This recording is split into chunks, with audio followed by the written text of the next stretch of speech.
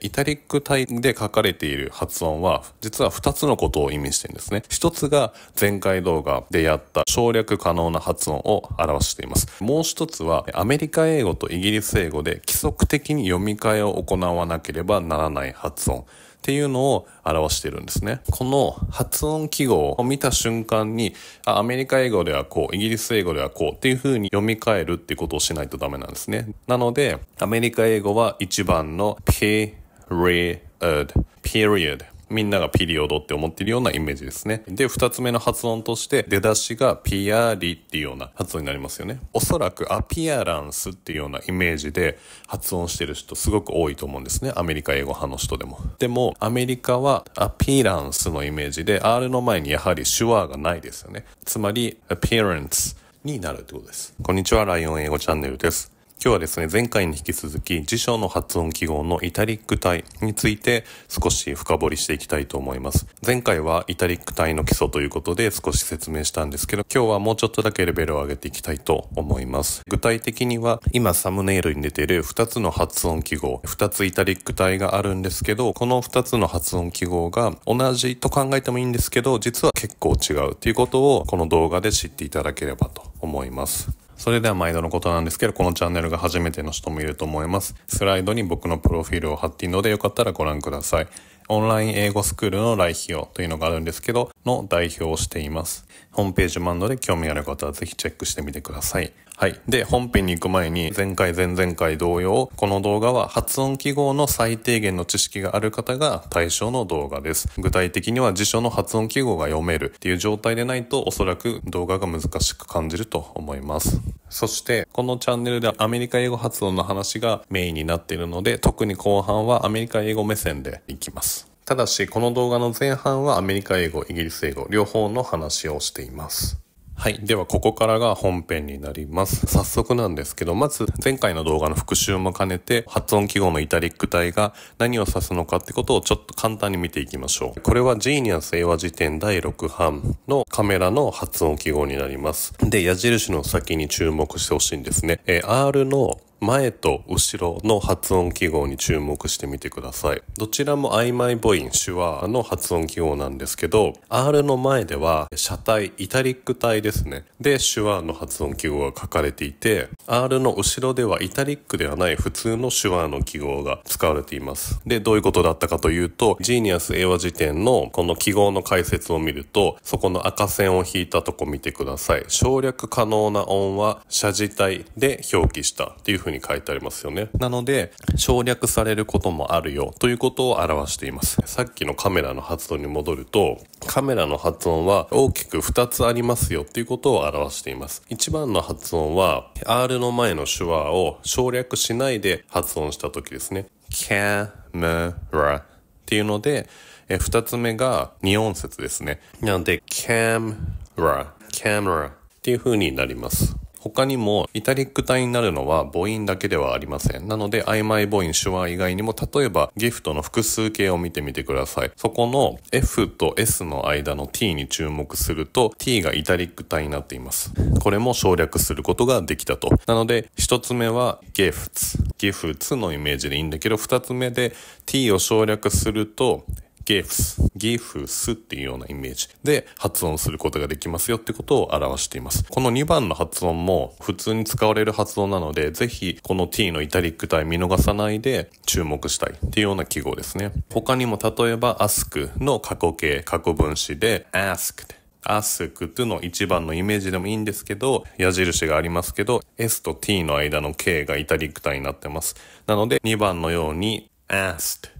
アストのイメージですね。その他も、えー、 extinct とか K もイタリック体になっていて省略されることがあるとか especially も especially っていうこのしの音の後の曖昧母音シュワが省略されることがあるよっていうのは前回やりましたと。はい。で、ここまでがまあ復習で、まずはこういう風にイタリック体になっている発音記号に気づくっていうことが最初のステップなんですけど、それだけだとまだ真にこのイタリック体を理解したってことにはならないんですね。なぜかというと、冒頭でも言ったんですけど、この発音記号を見てください。重大なとか深刻なという意味を表すこの単語、serious、serious っていうようなイメージで発音してる人も多いと思うんですけど、まず R の前のイタリックリック体に注目してください。曖昧母音シュワがイタリックになってますよね。なので、じゃあこれさっきのカメラみたいに省略していいんでしょっていうことで、 serious って発音すればいいっていうようなことになりますよね。でも、カメラと serious の発音のイタリック体っていうのは厳密には同じではないんです。なぜ同じではないかっていうのを考えていくんですけど、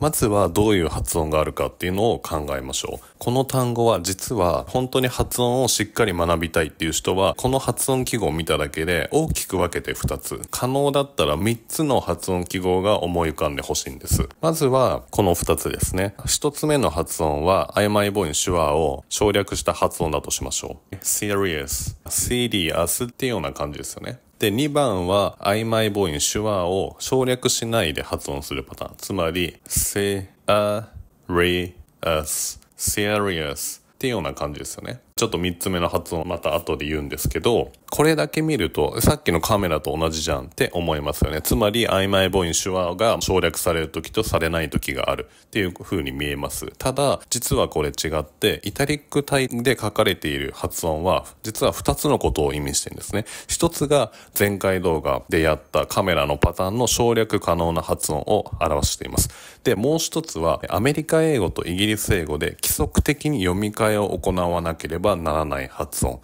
っていうのを表しているんですね。辞書によってイタリック体の扱いがちょっと多少異なるので、必ず自分のお持ちの辞書を確認してほしいんですけど、便宜上この動画ではこういう風に2つで分類してお話ししていきます。どういうことかというと、まずカメラはアメリカとイギリスの違いではないんですね。シュワを省略するかしないかっていうのは本当に任意だったんですけど、 serious のシュワを省略するかしないかっていうのは、基本的にはアメリカ英語発音とイギリス英語発音の違いなんですね。なので、え1番がアメリカ、2番がイギリス英語の発音っていうことに基本的にはなるんです。ここまでを整理すると、1の省略可能な発音はカメラっていうタイプ。で、2のアメリカ英語とイギリス英語で違いますよっていうのが2の serious のタイプなんです。じゃあここでアメリカ英語とイギリス英語発音の読み替えって何ですかってことになりますよね。それに関して、ジーニアス英和辞典第6版の発音の解説のセクションを見てみると、赤い線で引いたところを見てみてください。米音と A 音が規則的に対応する場合には、表に示すような読み替えを行うっていうように書いてあります。ちなみに読み替えについては、イタリック体のみを指すわけではないんですけど、この動画はイタリック体の話になるので、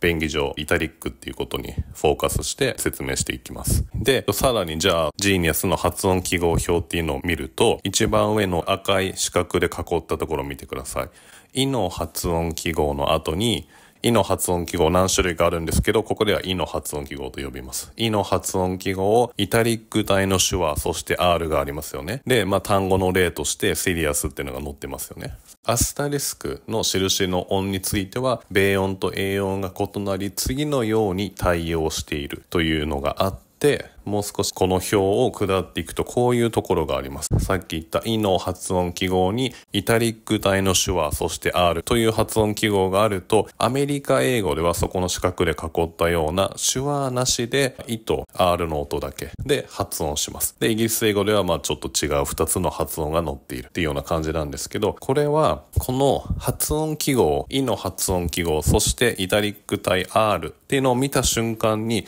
アメリカ英語ではこう、イギリスス英語ではこうっていう風に読み替えるってことをしないとダメなんですね。どういうことかというと、思考のプロセスをここでちょっと整理すると、まずこうです。 serious っていう発音記号を見ました。で、イの発音記号をイタリック体のシュワ R があると。そういえば読み替え表にこれあったなって思います。で、アメリカ英語ではこれシュワを発音しないのが普通だったってことを思い出します。そうすると1番のさっきのアメリカ英語の CD アスのイメージの R の前でシュワなしの発音がアメリカ英語だっていう風に考えます。二つ目で、イギリス英語はさっきの上の読み替え表でシュワを発音するパターンだったな。ということで、CRDS っていう方の発音が、まあじゃあイギリス式なんだなっていう風にわかると。そして3番の発音でこれ後で言いますけど、イギリス英語の読み替えの2つ目で E を伸ばす発音がありますよね。なので、serious というような発音もあるということもわかります。なので、シリアスの発音を見ただけでこの3つがわかんないとダメなんです。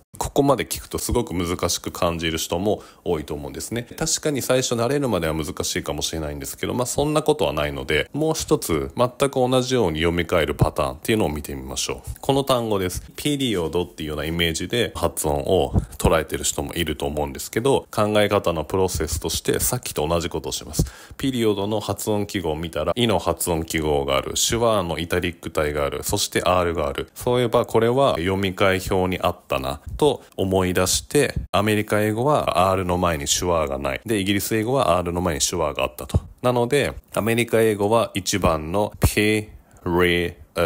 period みんながピリオドって思ってるようなイメージですね。で、二つ目の発音として、R の前の手話を省略しないイギリス英語式の発音で、こっちは p a r i d ということで、出だしがピアリっていうような発音になりますよね。そして、イギリス英語では3つ目もあって、出だしを伸ばす period っていうような伸ばす発音もあるっていう感じで3つに見えればいいってことです。と、ちょっとここで補足なんですけど、先ほどから言っているこのイギリス英語の読み替えの2つ目ですね、この E を伸ばすパターンなんですけど、さっきのね、シリアスとかピリオドみたいな感じで伸ばせますよっていう風に言いましたけど、これはジーニアス英和辞典第5版から6版の改訂で追加された発音です。かなり最新の発音を反映してるんですね。前から紹介している English After RP というめちゃくちゃいい本があるんですけど、この本に書いてあるような記述を反映しています。で、まあちなみに今ここ、さっき言ったシリアスとかピリオとかっていうのの発音のところを今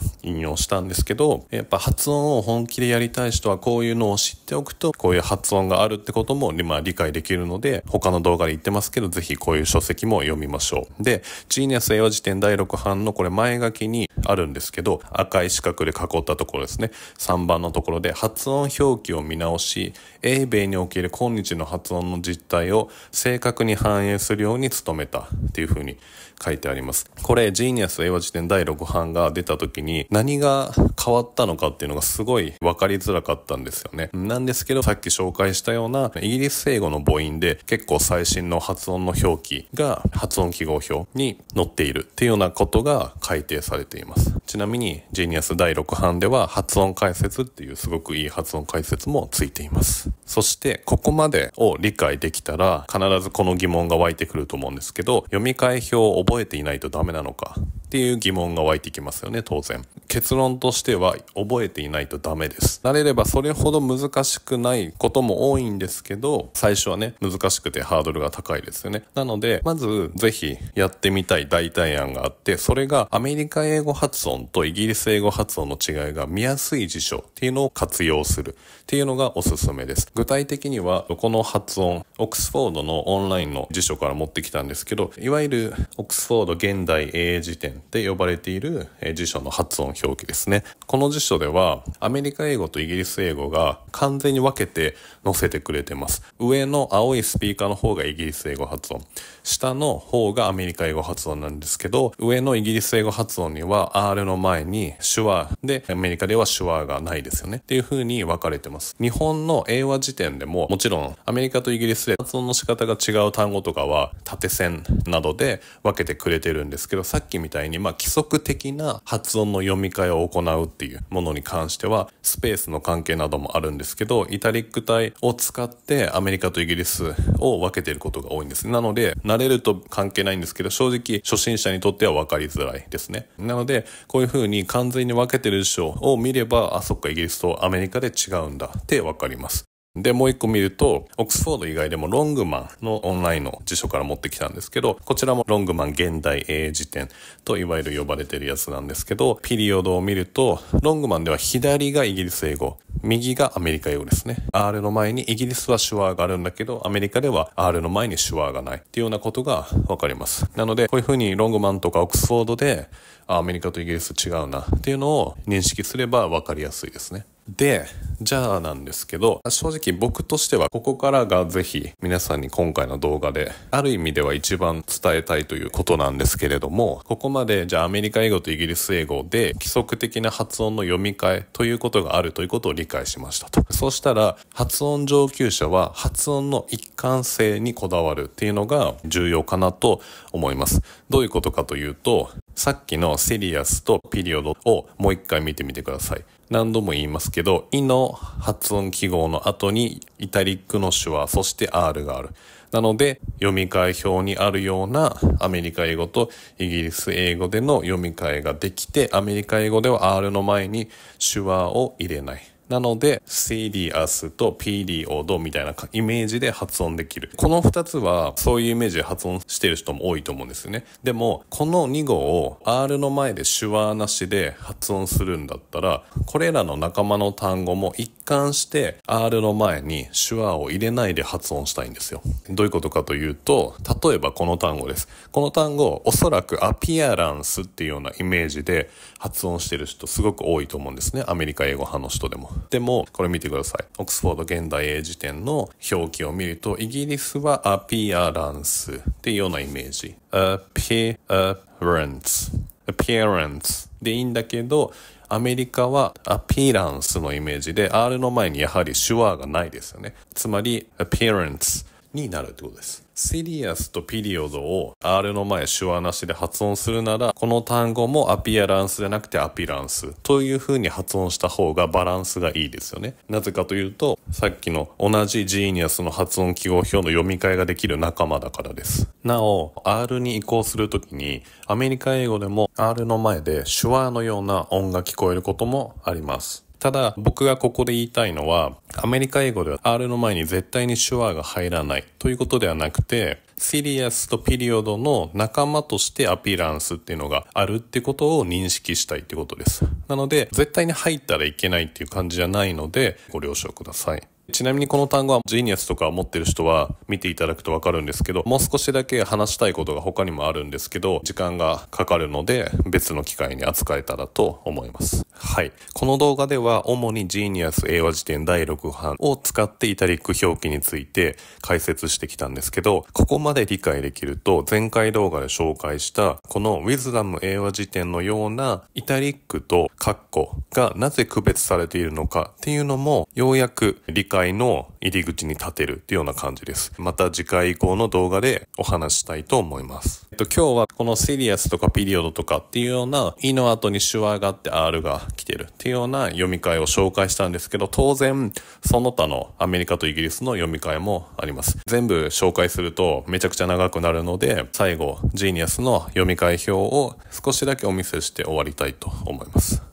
こんな感じですね。ジーニアスだけに限らないんですけど、辞書でこういう本編が始まる前の発音記号表とか凡例、辞書の凡例とかを読むのはめちゃくちゃ大事です。特に上級者の人は絶対に読んどいた方がいいですね。ジーニアスの発音記号表はこういう風になってるんですけど、さっき僕が紹介したようなこのアメリカとイギリスでの読み替えっていうのが書いてあります。これほんと大事です。この辺の読み替えについてはまた別の動画で扱おうと思っています。という感じですね。今日もジーニアス英和辞典第6版をメインに紹介しましたが、この前の動画でジーニアス英和辞典第5版、そして6版に関しては発音上級者は絶対に使いましょうねっていうような動画を撮ってます。まだ見てない方はぜひこちらご覧ください。はい。っていう感じですね。毎度のことなんですけど、発音音声学書籍の書籍紹介動画っていうのも撮ってんので、よかったら、ご覧ください。参考文献100冊ぐらいもリンクで概要欄にあると思います。ライオン英語チャンネル今後も更新していきます。チャンネル登録はまだの方はぜひチャンネル登録をお願いします。